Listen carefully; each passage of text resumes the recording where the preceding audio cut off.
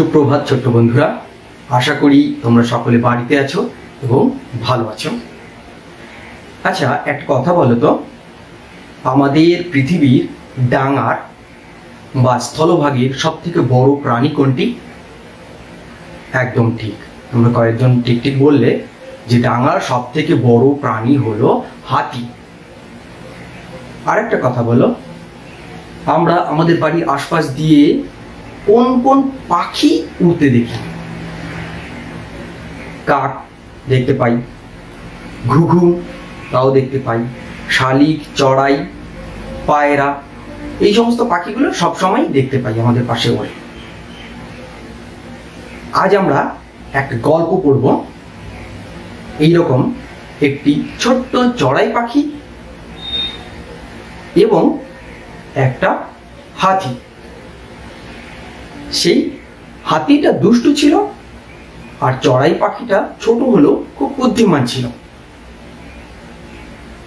তোমরা তোমাদের বইয়ের একশো আট নম্বর পৃষ্ঠা, এই যে বইটি, আমার বই এর একশো আট নম্বর পৃষ্ঠা, এই পৃষ্ঠাটা বের করো।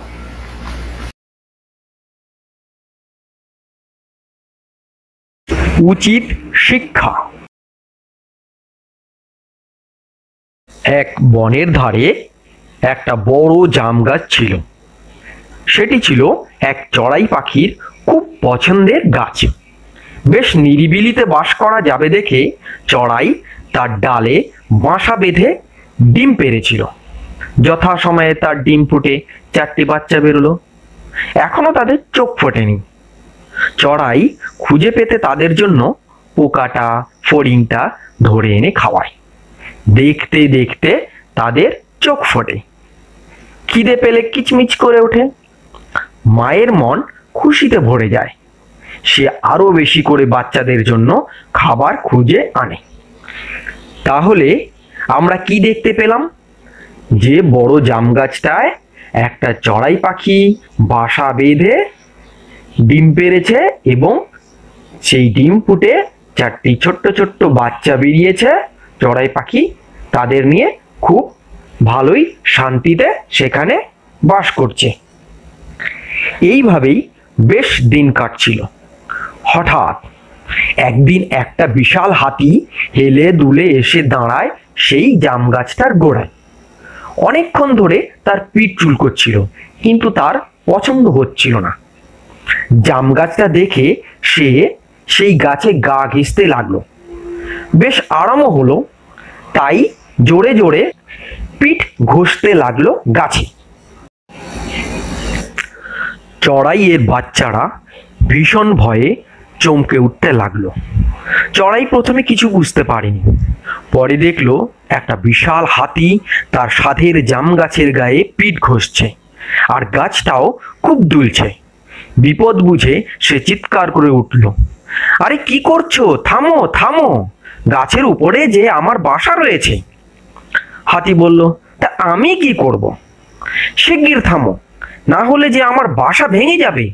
আমার বাচ্চারা বড্ড ভয় পাচ্ছে। হাতি হেসে বলল, তোর বাচ্চারা ভয় পেয়েছে, তো আমি কি করব? গর্তের মধ্যে লুকাতে যাব? চড়াই কাকুতি মিনতি করে। তুমি তুমি আর গাছটাকে নাড়িও না।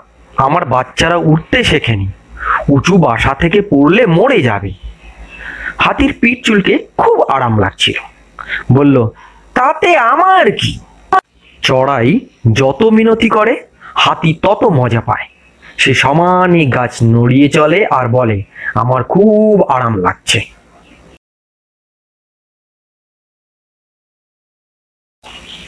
হঠাৎ গাছটা ভীষণ দুলে উঠল।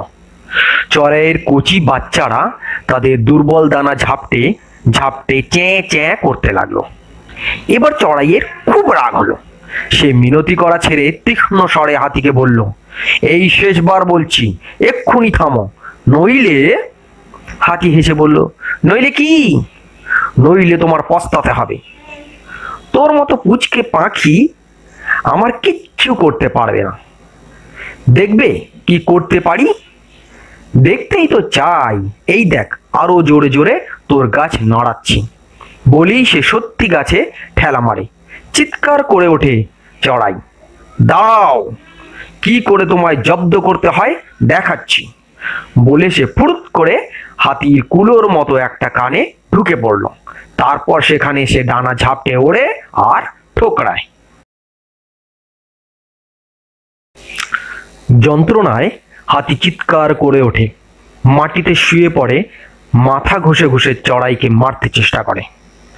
কিন্তু তা পারবে কেন? চড়াই তো রয়েছে তার কানের ভেতরে। কাতরাতে কাতরাতে হাতি বলে, বড্ড লাগছে আমার। তুমি শিগগির বেরিয়ে এসো আমার কান থেকে। লক্ষ্মী বোনটি আমার। কানের ভেতর থেকে চড়াই বলে, তাতে আমার কি? এখানে উঠতে আমার খুব ভালো লাগছে। না না, বোনটি, তুমি আমাকে বাঁচাও। আমি আমি আর কখনো গাছ নাড়াবো না। আমার অন্যায় হয়ে গেছে। এই বারটি তুমি আমায় মাফ করো। চড়াই বলল, ঠিক বলছো। হাতি বলল, ঠিক। চড়াই আবার হাতির কান থেকে বেরিয়ে আসে। হাতিরও প্রাণ জুড়োয়। গাছের ডালে নিজের বাচ্চাদের কাছে গিয়ে চড়াই বলে, গায়ে জোর আছে বলে গর্ব করা ভালো নয়। মনে রেখো, ছোট প্রাণীরও কিছু ক্ষমতা থাকতে পারে। হাতির ভালোই উচিত শিক্ষা হয়েছিল। তাই চিরকাল মনে রাখব। বলে হাতি সেখান থেকে দ্রুত চলে যায়। কি, ছোট্ট বন্ধুরা, কেমন লাগল গল্পটা? বেশ ভালো না? দেখো, আমরা এই গল্পটা পড়ে একটা বিষয় জানতে পারলাম যে কেউ আকারে, আয়তনে বা চেহারায় ছোট হলেই তাকে দুর্বল ভেবে তার উপর অত্যাচার করা মোটেই উচিত কাজ নয়। তাহলে কি হয়? তাহলে আমাদের শাস্তি পেতে হয়। তাই তো? আরও একটা বিষয়, এই গল্প থেকে আমরা জানতে পারলাম কি? সেটা হলো যে বুদ্ধি যার বল তার। এই বল কথাটার মানে জানো? এই বল কিন্তু খেলার বল নয়। এই বল জোর বা শক্তির কথা বলা হয়েছে। আমাদের গায়ের যে শক্তি, সেটার কথা বলা হয়েছে। কিন্তু শক্তি আসল কথা নয়। হাতে তো অনেক শক্তি ছিল। কিন্তু বুদ্ধির জোরে, অর্থাৎ বুদ্ধির বলের কাছে ছোট্ট চড়াই পাখির কাছে সে হেরে গেল এবং উচিত শিক্ষা পেয়ে সেখান থেকে পালিয়ে গেল। তাই না? তাহলে এই গল্প থেকে আমরা দুটো বিষয় জানতে পারলাম। এক, কাউকে দুর্বল ভেবে তার উপর অত্যাচার করা উচিত নয়। দুই বুদ্ধি যা বল। আচ্ছা তোমরা সকলে ভালো থেকো। বাড়িতেই থেকো, আজকে এতটুকুই। আরও একদিন আসব, নতুন কিছু গল্প নিয়ে, নতুন কিছু কবিতা নিয়ে, ঠিক আছে?